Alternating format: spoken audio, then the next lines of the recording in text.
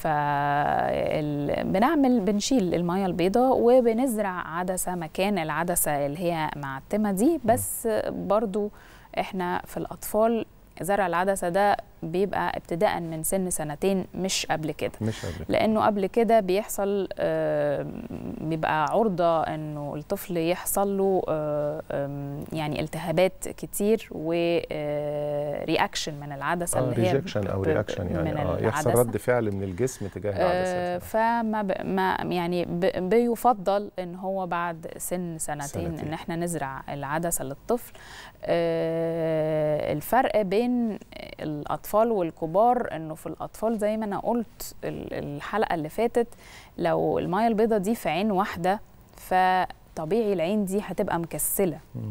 فإحنا مش بس بنشيل المية البيضاء يعني مش بس إجراء الميه البيضاء لا إحنا لازم نعالج الكسل عشان. الشخص يقدر يت... الطفل يقدر يشوف, يشوف بالعين دي بالظبط فما. ينفعش لو هو خلاص نعمل عملية وخلاص كده. عشان كده أنا قلت لل- لل- للمشاهدين الاعزاء لازم يشوفوا الجزء الأول من حلقتنا اللي هي كانت الأسبوع الماضي لأنه كان فيها معلومات الحقيقة بالغة الأهمية ليه لأنه آه، الدكتورة ريهام الحقيقة وضحت لنا إن في إجراءات علاجية كتيرة ما بتبقاش نهاية القصة في الإجراء نفسه ولكن في في مثلا في نظارات بتتلبس بعديها أو بالظبط. في تمرينات بتحصل بعديها أو ما إلى ذلك.